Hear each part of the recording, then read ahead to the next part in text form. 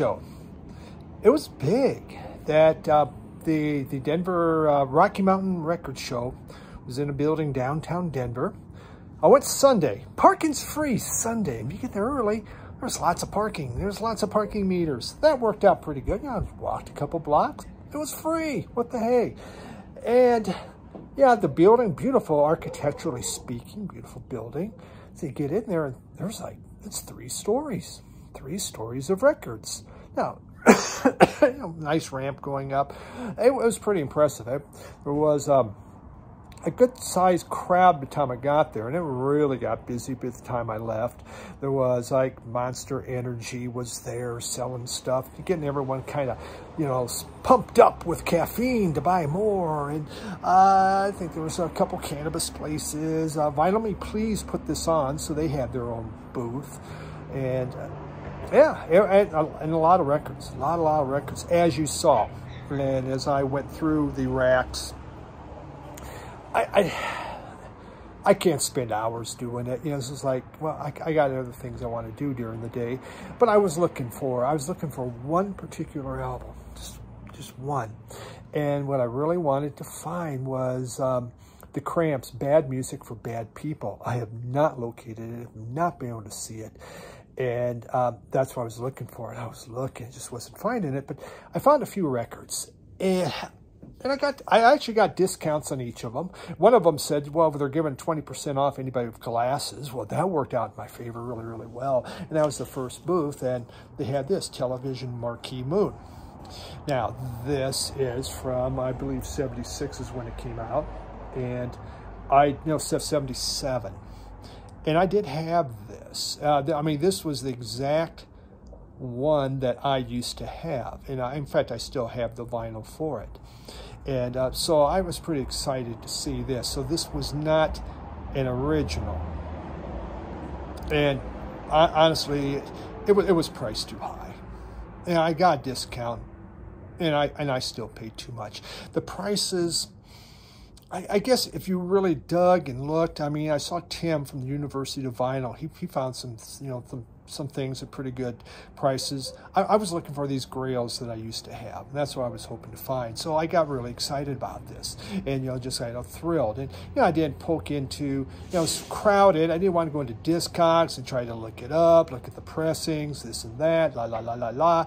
I just, you know, it's just, you're, you're holding everything up. So I bought it. I paid too much. I, it wasn't, I mean, it wasn't like I felt like I, uh, you know, got screwed over, but, you know, didn't even get a kiss for it. But, yeah, it was too much. So there was another bin I was going through. They had, oh my God, they had so much good stuff in there. I'm just looking. In fact, probably, you know, you'll see it in the video. just, it was one of them. But they had Now I used to have one of these too. And, you know, this, this was um, from a 76 and, uh, but it's a repress. But guess what? They priced it like it was not a repress. I mean, really. It, yeah, and, and, I got. They didn't give me as much of a discount there, but I did ask, and you know, to get something off on it. And generally, I don't like to do it, but you know, they they were asking a lot, and so you know, I picked it up.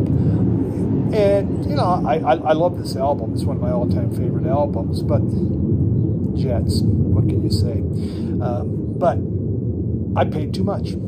I, I, did. And, you know, again, there, was, there wasn't research involved or that. I just, it was the excitement of seeing this, looking, okay, the label looks right, everything looks right. But if I would have checked the, well, like on the television, if I would have checked the, the television or, or no, it's actually this one. If I would have checked the dead wax, you would have seen RE in there. It came out the same year, but it was a reissue. So, yeah, paid too much.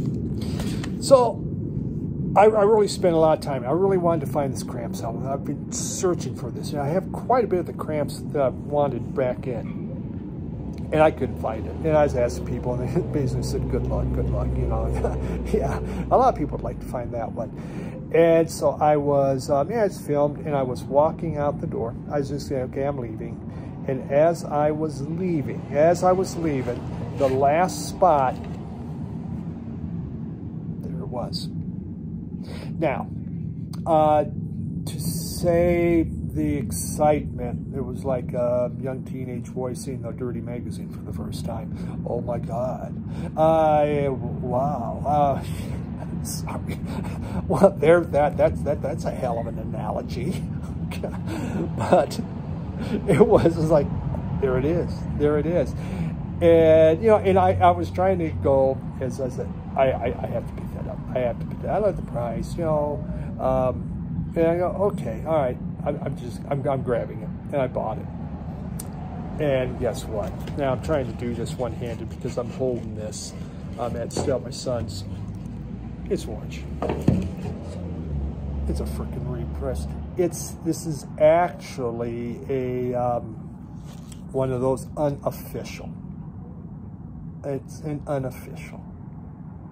But they didn't have it priced that way. They just had it priced because some freaking moron would come up and just get excited. Like, you know, I just, I have to have that no matter what because it means everything to them and we will sell it to them. Yeah, that's, that's, that's how it was priced. So, um,